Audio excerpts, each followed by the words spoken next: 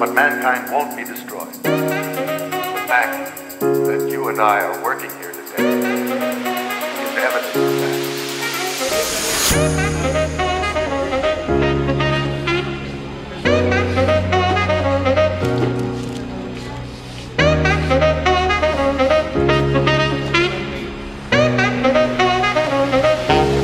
Thank you.